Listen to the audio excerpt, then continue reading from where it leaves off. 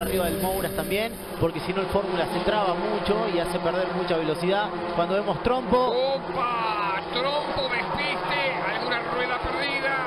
¡Opa! Ahí se pegaron fuerte. Ahí se pegaron fuerte. Le borró la cola con la rueda delantera derecha. Uno de los que está metido en ese problema es Ayrton Chorne, el auto blanco. El 32. Con el casco de Ayrton Senna, mira vos. Y este es 12. Sí, Cristian Sí. 12. Cristian 12. No, sí, sí, sí, sí, Cristian 12. Efectivamente, recibió Eh, un golpe en la parte posterior de su auto. Primera vez que corre en monoplazas, Ah. Cristian 12, y lo hace porque su hijo menor recién cumple 15 en el mes de septiembre. Señores, Calvani. sí. El problema de los autos, auto de Calvani, ¿sí? Sí.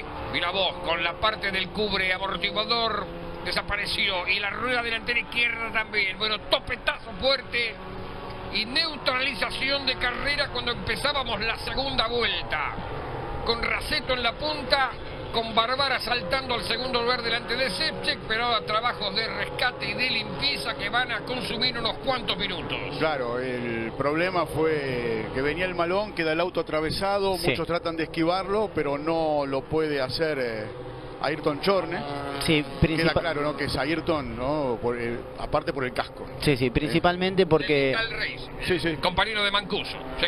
claro, es una curva media ciega que se ingresa de abajo, eh, es en subida y cuando terminás arriba del piano como que no ves qué puede pasar adelante, ahí se encuentra el auto en semitrompo y bueno, obviamente eh, lamentablemente no lo pudieron esquivar. Afortuna- afortunadamente no pasa nada, solamente es, es auto. Vemos como se tocan un poquito, ingresa el auto en trompo y ahí sí, empiezan a esquivarlos. Ahí se puso el desbarajuste. Mira, cuando se Claro. viene para adentro 12, Ah. ¡ay! Le pega justo Chorne al auto de 12 que estaba saliendo del trompo. Señores, carrera neutralizada de la Fórmula Metropolitana. Golpazo de algunos autos y el llamado de Nicolás Neus desde boxes mientras esperamos que se limpie la